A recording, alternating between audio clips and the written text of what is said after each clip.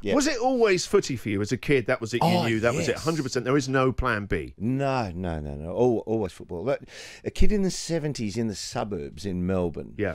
Uh, his his one hour of glory each week, besides playing junior footy on a Sunday, was watching the big replay, and they played one hour of football Yeah. at seven thirty on a Saturday evening. Yeah. To me, it was like looking at the WWE. You know, they had their names as they entered the arena. Oh, As a seven, eight year old watching this, I thought, league football. They will come to the edge of the ground on conveyor belts. They will be given everything.